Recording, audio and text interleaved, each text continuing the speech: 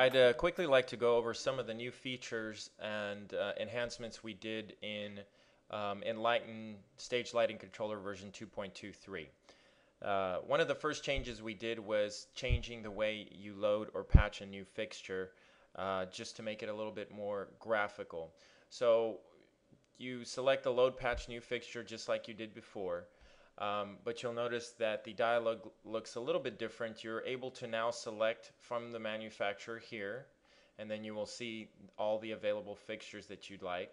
Then you can click on the available fixture and then uh, see a detail of the profile and then go in deeper and, and look at each color and gobo to make sure that, that you actually do want to patch this fixture.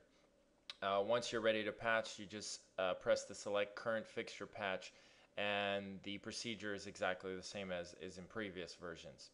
One other interesting feature we added was the ability to test a fixture profile uh, quickly.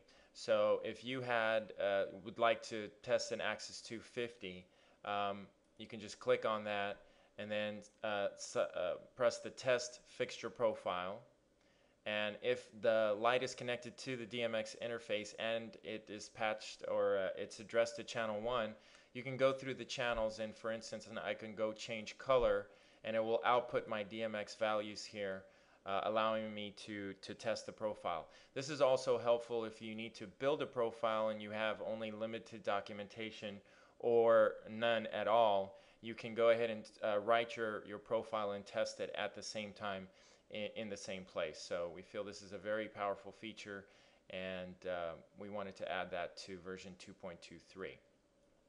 The next uh, feature I'm going to show you is we somewhat changed the color palette and as you see uh, when it first uh, starts up uh, you will still see the normal color palette that you're used to but then you're able to change the color palette modes. If I click this button here, the normal button, it'll take me to the RGB and basically this is just your basic colors red, green, blue, orange, light orange, yellow, uh, cyan, magenta, so some of the, the more common uh, solid colors are here, along with uh, some of the different color temperature whites that you may be able to use to uh, get better skin tones from your LED fixtures or your CMY color mixing fixtures. Those are, are, are pretty good to use.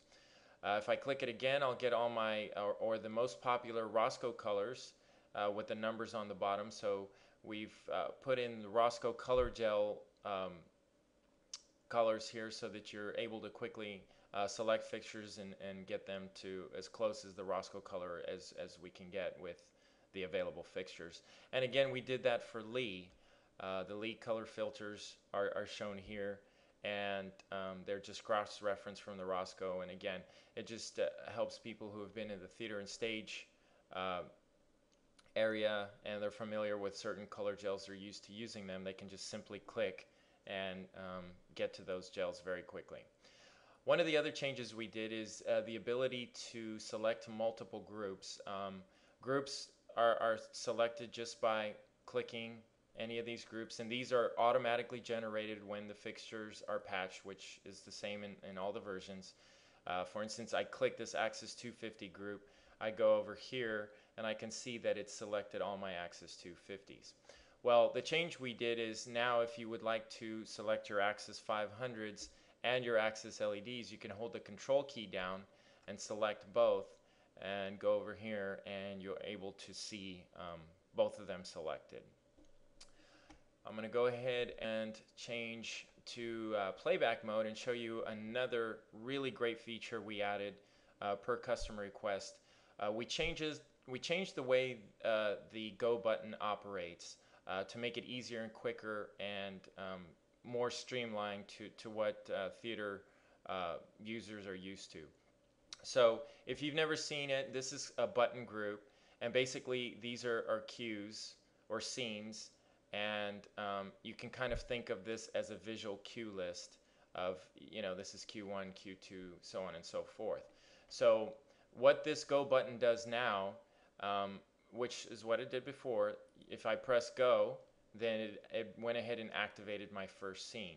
But instead of having to click to the next scene, all I have to do is press the go button and it'll go to the next scene. Go, go, go.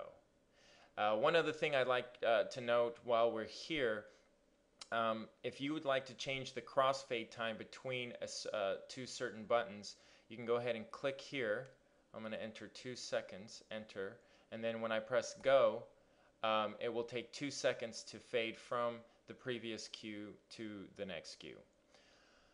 Okay, one of the last changes we did here was the ability to change the fade in and out time on any particular button. And the way to do that, you basically just right click, you select adjust fade in and fade out times.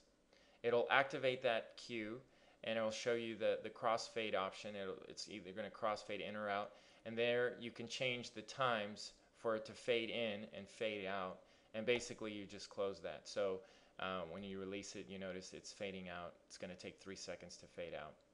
So those are the basic overview of some of the changes we've done in version 2.23 of Enlighten Stage Lighting Controller.